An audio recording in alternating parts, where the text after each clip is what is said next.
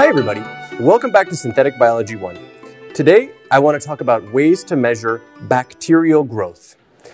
If there's really 10 million bacteria living in your test tube, how do you measure them? How do you count them all?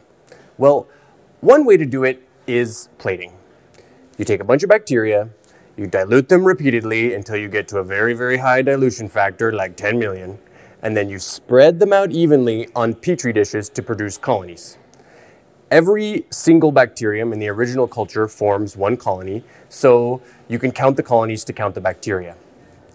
But plating is hard, you have to do all that diluting and diluting, and you have to make all of those plates, and then you have to wait like 12 hours or more for the bacteria to grow into colonies, and everything is the worst.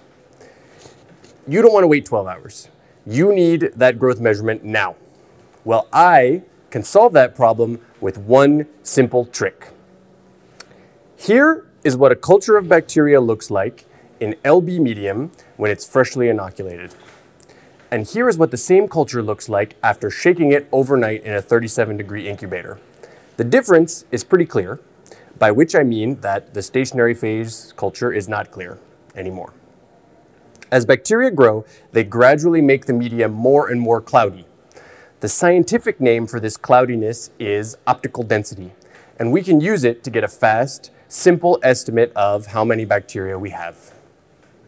First, let's take our observation that bacteria are cloudy and turn it into something that we can precisely measure.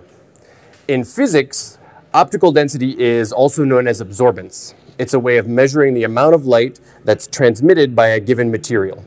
If we shine a light across a culture of E. coli, not all of it will pass through. Some of the light will hit the E. coli cells and become scattered. The amount of light scattering depends on two main factors. First, the thickness of the material.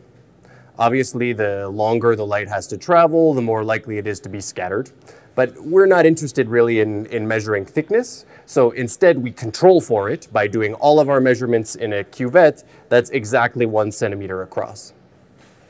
A cuvette, by the way, is just a test tube with clear, flat sides that we can shine a light through. The second factor that determines how much light can get through the sample is the absorbance. We measure the absorbance in the following way. First, we take a blank cuvette with just pure media. We turn on the light and measure how much comes through. This is the baseline measurement of how much light is received by the material.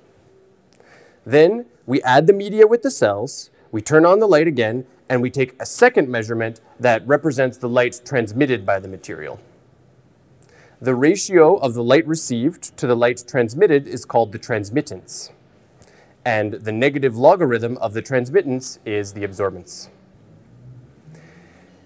You should notice that all of this equipment is nothing fancy. All we're doing is measuring how much, how much light comes through the cuvette the measurement doesn't tell us anything specific about what's blocking the light or what happens to the light that gets blocked.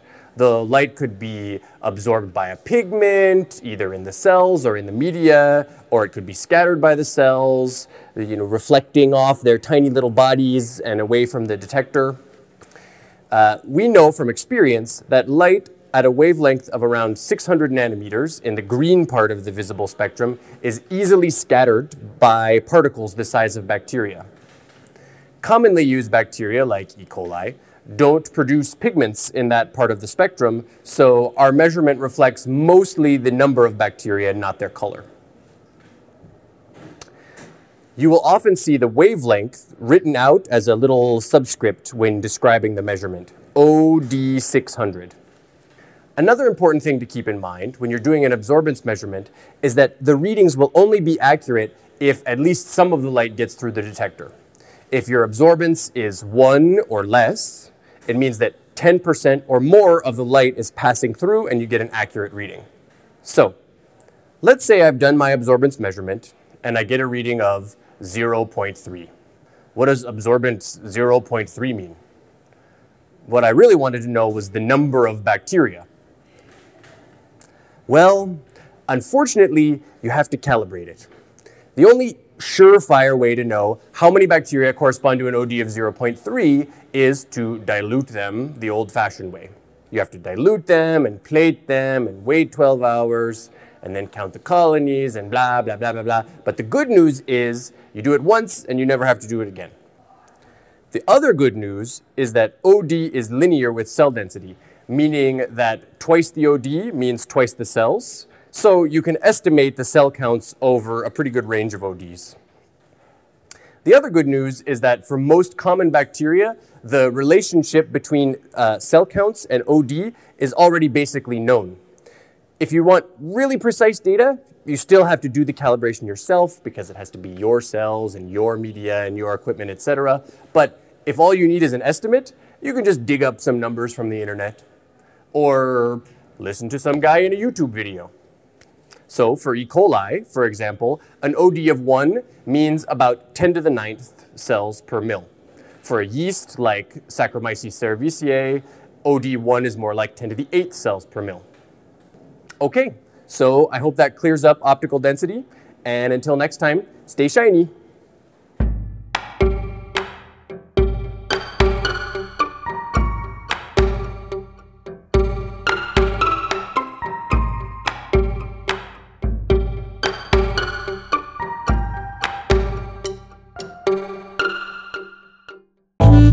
Thank